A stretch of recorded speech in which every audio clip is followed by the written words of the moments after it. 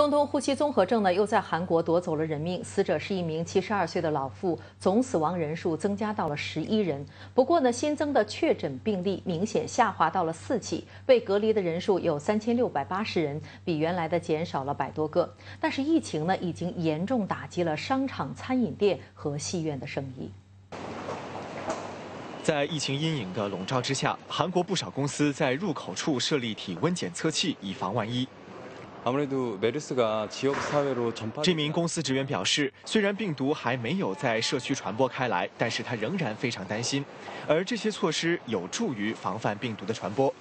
每天需要接触大量顾客的当地银行也效仿类似措施。银行的公关经理表示，提供手用消毒液和设立体温检测器，不但让职员安心，也能够让顾客放心。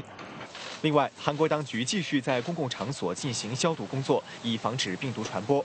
目前有两家医院因为有大批患者受感染而暂时关闭，同时也有近两千八百间学校关闭，但有一部分学校计划在下个星期恢复上课。